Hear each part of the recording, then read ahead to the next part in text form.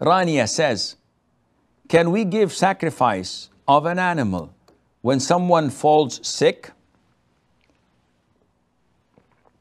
I heard from a scholar that this is not permissible since it's like bribing Allah. This is not true.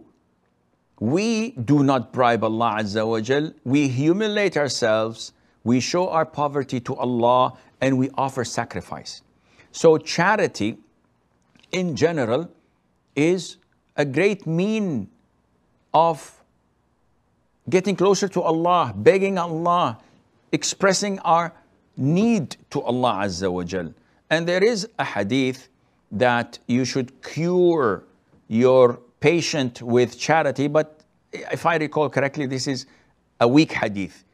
Can be possible to authenticate, but the most authentic opinion that it is weak.